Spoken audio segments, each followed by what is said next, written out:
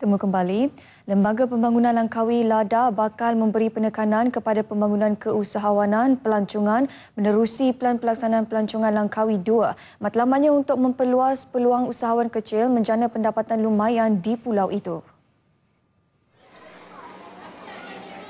Setiap projek pelancongan yang dirancang menerusi pelan berkenaan akan mengambil kira manfaat yang diperoleh usahawan kecil.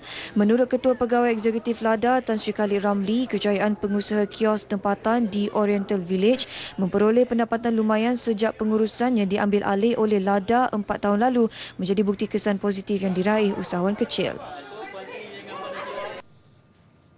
Kita akan tetapkan um, apa ni bilangan usahawan dalam blueprint yang kedua ini secara lebih khusus. Kerana selama ini dalam masa 2-3 tahun ini kita memang memberi tumpuan kepada uh, apa ni uh, tourism entrepreneurs entrepreneurship ya.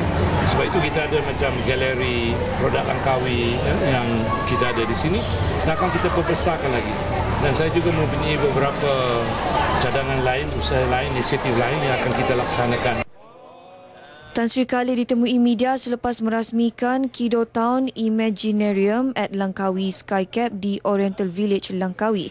Kido Town Imaginarium produk pelancongan baru menggunakan teknologi komunikasi maklumat yang dibangunkan syarikat tempatan untuk membolehkan pelancong menikmati pengalaman realiti maya. Ia dijangka meningkatkan lagi jumlah pengunjung ke Oriental Village kepada 1.5 juta orang.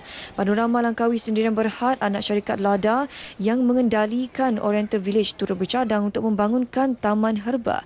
Dalam pada itu, 20 lagi gondola kereta kebal akan ditambah tahun ini. Sekaligus mampu menjadikan Oriental Village sebagai salah sebuah taman tema eco pelancongan terulung di rantau ini.